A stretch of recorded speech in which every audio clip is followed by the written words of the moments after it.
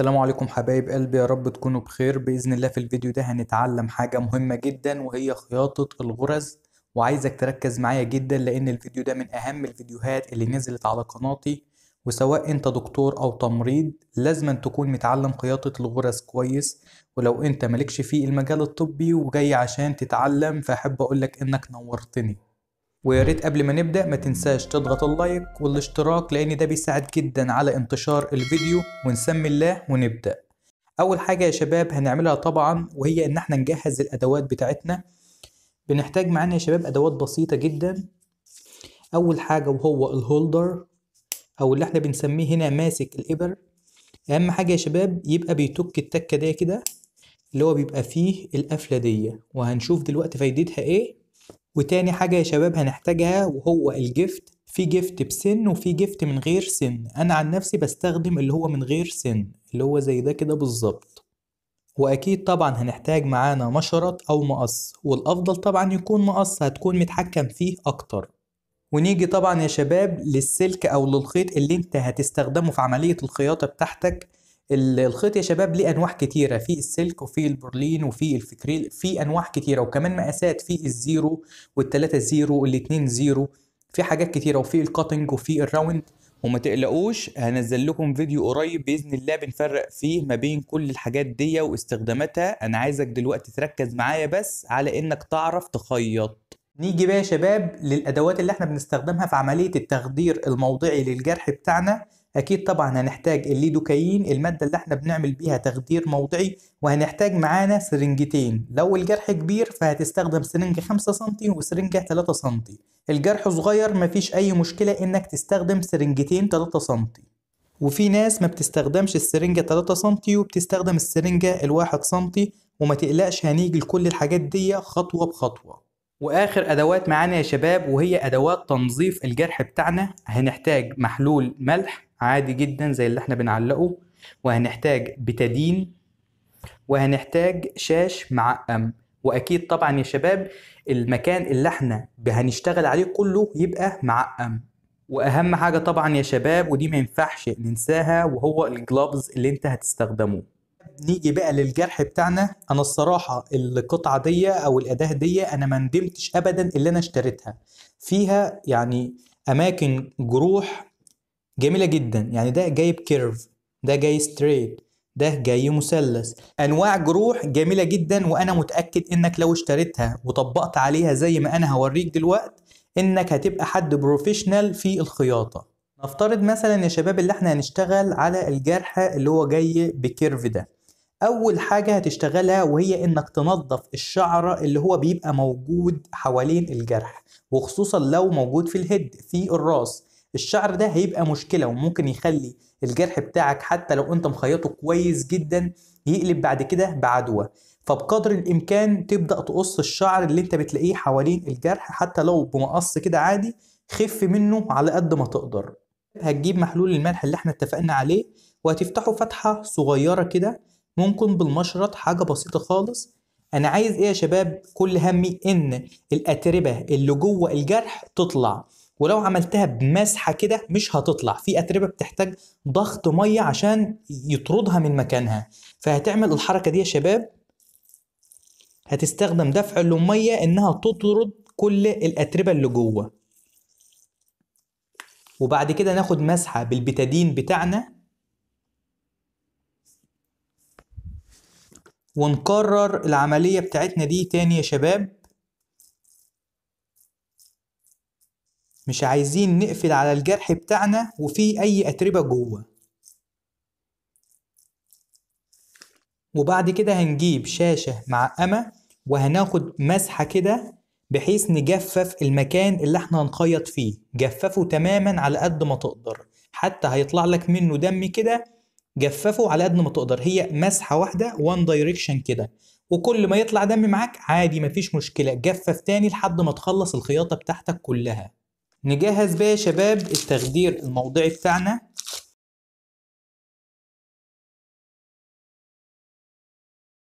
هنسحب 3 سنتي من الليدوكاين بتاعنا.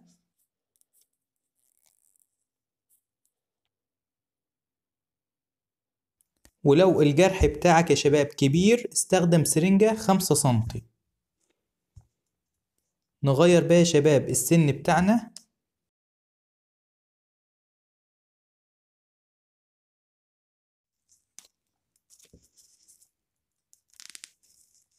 وتطلع الهواء بتاعك. وكده إحنا جاهزين لتخدير الجرح بتاعنا. نيجي للخيط بتاعنا بقى يا شباب. فكه من هنا كده. الخيط اللي معايا ده آه، نوعه سلك المقاس بتاعه اللي هو 3 زيرو. وده أفضل نوع تتعلم بيه على ال- ال- الجزء اللي أنا أو على الهيكل اللي أنا بستخدم بيه أو اللي أنا بخيط بيه اللي هو البلاستيك ده. ده أفضل نوع تتعلم بيه. الأنواع التانية يا شباب اللي هي زي ال Prolene أو كده هتقطع معاك البلاستيكة دي مش هتعرف تخيط بيها. إيه، لو فكرت إنك تستخدم يعني ال- البلاستيكة دي فلازما إنك إيه، تستخدم معاها خيط سلك ويا ريت يكون 3 zero برضو.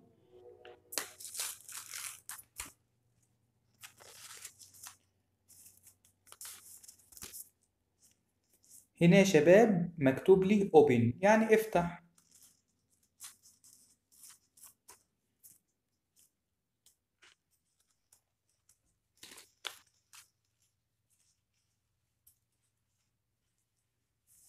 الخيط بتاعنا يا شباب. نيجي بقى للهولدر أو ماسك الإبر. شايفين الجزء ده؟ لازما يكون فيه كده قفل مش هيفتح ابدا. اتك أتك عليه أو أعمل تكه بسيطه كده يجي هو فاتح. الماسكه يا شباب بتاعته اللي هي الصحيحة بقى إنك تحط الصباع ده هنا والصباع ده هنا والصباعين دول يبقوا كده. وتغرز. لكن زي ما انت إيدك تستريح لها. شوف انت إيدك هتستريح إزاي وتعامل. نيجي بقى للسن بتاعنا. شايفين السن يا شباب؟ عايزين نمسكه المسكة الصح بقى. لو جيت مسكته من النص مش هتعرف تتصرف بيه يعني مش هتعرف تخيط. ولو جيت مسكته من فوق من هنا برضو كذلك. شايفين؟ المسكة بتاعته الصح تبقى من هنا كده. يعني ممكن مثلا ت... إنك تقسمه أربع تربع وتسيب ربع وتمسك من الربع التاني. بنفس النظام كده. والجفت ده يا شباب بتمسكه في إيدك التانية بيساعدك لو احتجت حاجة وإنت بتغرز وهنشوف دلوقتي. التخدير يا شباب بيكون كالآتي. إنت بتمشي على الايدجز أو على الحواف بتاعة الجرح بتاعك. يعني السرنجة بتاعتك أهي بزاوية تمشي مع الجلد من هنا كده ولمس السرنجة بتاعتك للجلد بالظبط كده وابدأ إنك تدخل دخلت السرنجة بتاعتي كلها يا شباب. أبدأ إن أنا أضغط على المكبس على المكبس بتاعي. أضغط وأطلع سنة سنة. هيستقبل معاك مادة. هي يا شباب؟ زي كده. أطلع سنة واضغط. أطلع سنة واضغط. أطلع سنة واضغط. هكذا. كده أنا خدرت يا شباب لحد المنطقة دي. أكرر بقى يا شباب العملية بتاعتي من أول هنا وكده. وأدخل وأمشي مع الجلد.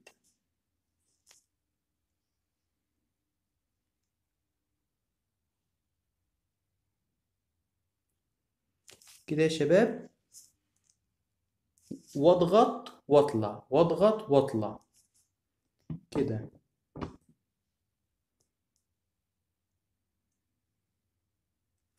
وطبعا يا شباب البلاستيك مش بيستقبل معايا المادة فاهمين؟ يعني البلاستيك مش بيمتص المادة. انت بتضغط الب- ال- البلاستيك نفسه مش بيمتصها. لكن الإنسان العادي أو جلد الإنسان العادي بتبص تلاقي المادة هو بيمتصها عادي مفيش أي مشكلة.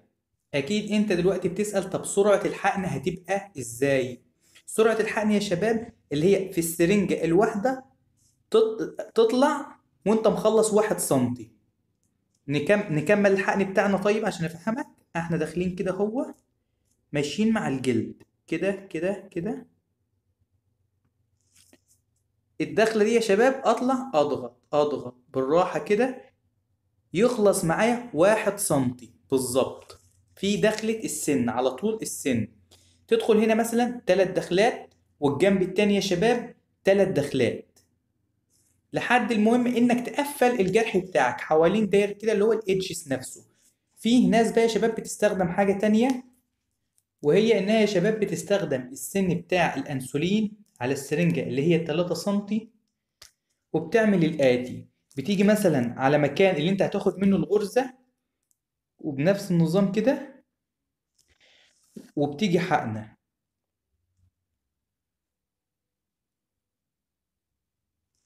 تيجي على المكان التاني اللي أنت هتدخل فيه الغرزة التانية زي كده وتيجي حقنة وهكذا. حوالين الجرح كله وتيجي حقنة تفضل تلف حوالين الجرح كله كده لحد ما تقفل برضو الإدجز أو تقفل المناطق كلها بتاع الجرح حوالين داير. هو كل الفكرة يا شباب إن إحنا بنعمل تخدير للجرح كله.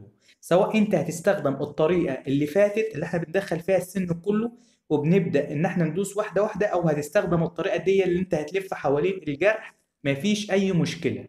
وآخد مسحة يا شباب للمادة نفسها كلها لأنها ممكن طبعا تطلع منك بره الجلد وبيبقى فيه دم فهتاخد مسحة واحدة. وهتستنى يا شباب 3 دقايق تمام؟ وبعد كده هتعمل الحركة دي للمريض هتقول له بس أنت حاسس ولا لأ؟ قال لك أيوه حاسس وحاسس بوجع خلاص سيبه 3 دقايق كمان. وارجع اعمل له الحركة دي أنت حاسس ولا لأ؟ أقصى حاجة يا شباب 10 دقايق. ما تستناش أكتر من 10 دقايق لأن مفعول المادة نفسه نفسه هيبدأ اللي هو يخف. نيجي بقى يا شباب نغرز الجرح بتاعنا. اولا كده أنا عايزك تبدأ من هنا اللي هو من بداية الجرح نفسه. من هنا كده بالظبط وهنبدأ. الدخلة بتاعتنا يا شباب ما بتبقاش ضغطة يعني. أنا ما بضغط ما بضغطش كده على السن أنا باخده على شكل دايرة كده. الحركة بتبقى من معصم الإيد بتاعي كده. مش كده. وهنشوف دلوقتي. وكمان ما بدخلش يا شباب من ورا خالص يعني مش من هنا ولا من الحافة من هنا.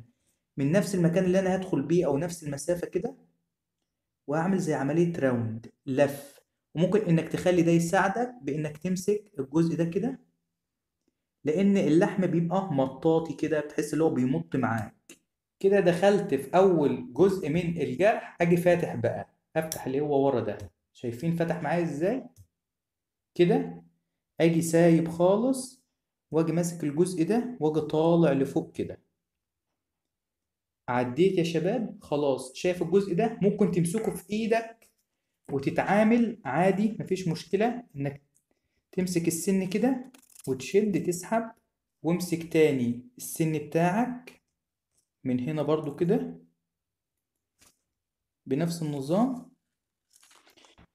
وحاول بقى يا شباب تدخل على حاجة يعني قصادها بالظبط. قصاد المنطقة اللي انت دخلت فيها. من هنا كده وده هيساعدك طبعا وتدخل كده. أفتح يا شباب زي ما إحنا متعودين. أدخل أفتح بسرعة. أفك أطلع. أسحب ده. أحط ده في إيدي كده. هو في إيدي كده. وأسحب اسحب الخيط بتاعك كله. اسحبه كله خلي منه بس حوالي 3 سنتي هنا 3 سنتي بس. السن انت ماسكه بإيدك الشمال وكمان الجفت ماسكه بإيدك الشمال. تمام؟ هتيجي بقى يا شباب بالهولدر بتاعك شايفين اللفة دي؟ لفة اتنين. تمام؟ هعيدها لكم تاني. لفة اتنين. بنفس النظام كده. اهي واجي ماسك الطرف ده واجي ساحب كده.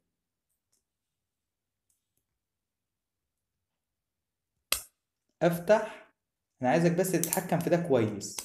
طالما عرفت تتحكم في ده انت كده بقت كل حاجة ايزي وكله هيجي مع الوقت. لفة واحدة واجي واخد الجزء ده واجي رابط. لفة واحدة كمان واجي واخد الجزء ده واجي رابط بالمشرط اللي إحنا كنا متفقين عليه ومعانا من البداية هتسيب حوالي ربع سنتي مسافة كده وهنقطع من هنا.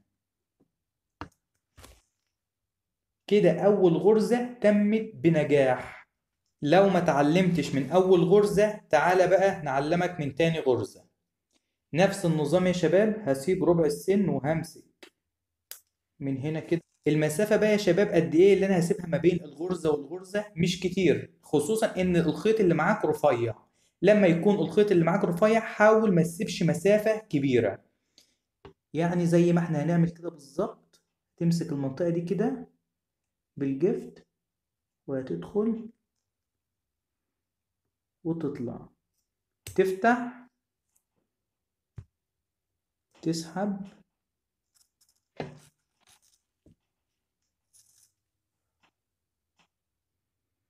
نسيب 3 سم يا شباب زي ما اتفقنا. ونمسك المسكة بتاعتنا هنسيب ربع. نفس النظام من قصادها كده.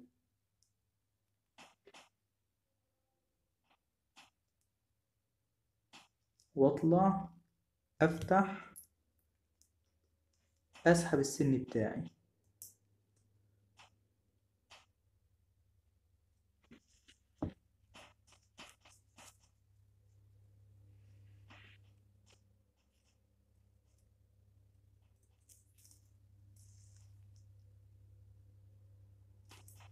نيجي للفة بقى يا شباب. لفة اتنين. واخد الطرف ده كده. واشد. الشدة بتاعتي ولا اللي هي قوية خالص فتقطع الجلد ولا اللي هي سايبة خالص فالجرح يفك مني. واحدة كمان. تالتة. كده تمام. أول لفة يا شباب بلف اتنين. واحد اتنين. اللفة التانية واحدة اللفة التالتة برضو واحدة. أسيب مسافة وأقطع. أول غرزة هتعملها زي تاني غرزة تالت غرزة لحد ما تقفل الجرح بتاعك كله للآخر. هي دي كل عملية الغرز يا شباب. حاجة بسيطة جدا. ولو الإيدجز دي يا شباب ودي قريبين من بعض ممكن تاخدهم الاتنين. في كيرف واحد مفيش أي مشكلة. المهم إنك تعرف الطريقة نفسها وبعد كده أنت هتلاقي نفسك. يعني في إبداع فيها. نسحب. نخلي تلاتة سنتي بس. لفة اتنين. واخد الطرف ده. لفة واحدة. لفة تانية. تالت غرزة خلصت معانا. نسيب مسافة يا شباب ونقطع. نمسك من هنا كده.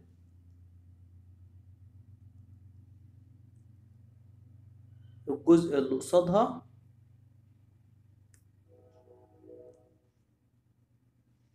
تطلع. تفتح.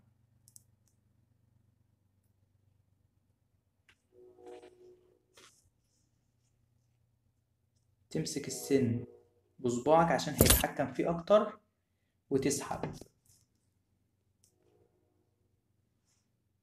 تخلي تلاتة سنتي لفة. اتنين زي ما اتفقنا هتمسك الطرف وهتسحب.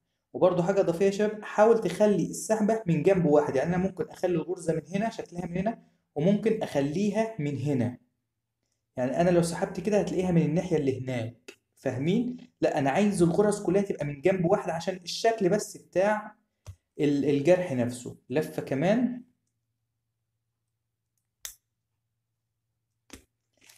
هاخد لفة تاني.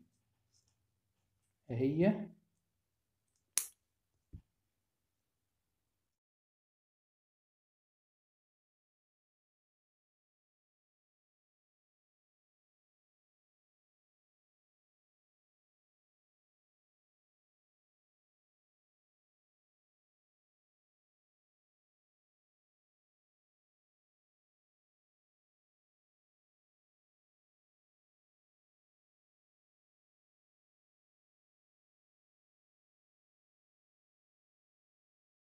نفترض مثلا يا شباب اللي أنا غلطت يعني دخلت كده ونسيت وجيت لافف مثلا زي كده اللفتين بتوعي. يعني نسيت أنا نسيت أدخل في ال edges التانية مثلا وربطت على ال edges الأولى يعني كده ملهاش لازمة ولا تخوف نفسك مفيش أي مشكلة. بالمشرط اللي معاك وفكها ممكن تسحب دي كده مثلا لفوق. وبالراحة كده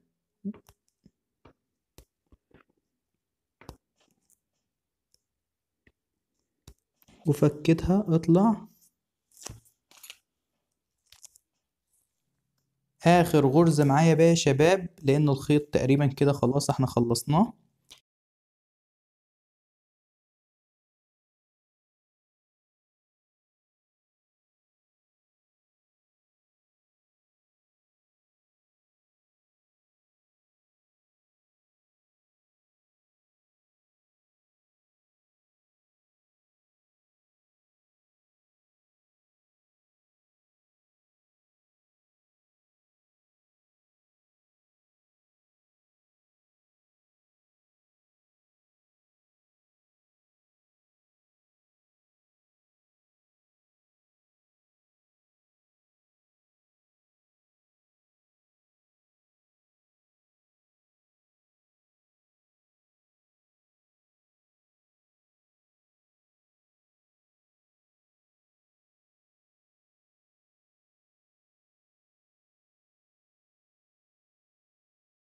وبكده حبايب قلبي يبقى الفيديو بتاعنا خلص. يا ريت لو شايف إن الفيديو يستاهل ما تنساش تضغط لايك للفيديو واشتراك في القناة واستنوني في فيديو الغرز السحرية وفك الغرز والغيار على الجروح. والسلام عليكم.